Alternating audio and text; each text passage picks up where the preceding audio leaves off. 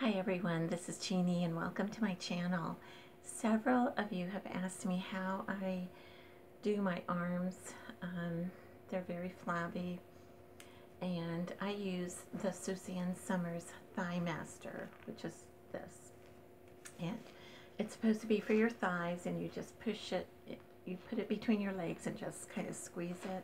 And I try to do 80 of those every day and some days if I forget or I get too busy and then I go back the next day. It's really hard to go back and keep doing it, but it does keep your legs healthy and strong and we really have to work on those thigh muscles as we get older.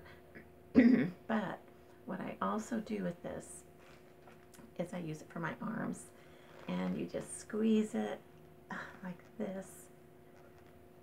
It's really hard to do, but I try to do about 30 a day. Um, I found this at a thrift store for about two or three dollars and it was in perfect condition. Uh, it has a few dings in it because I've had little boys around lately who like to play with it. But um, otherwise it's in good shape. But that really keeps my arms strong and healthy, I think, I hope. Anyhow, and also got some questions. Do I wear makeup every day? Yes, I put on my makeup every single day.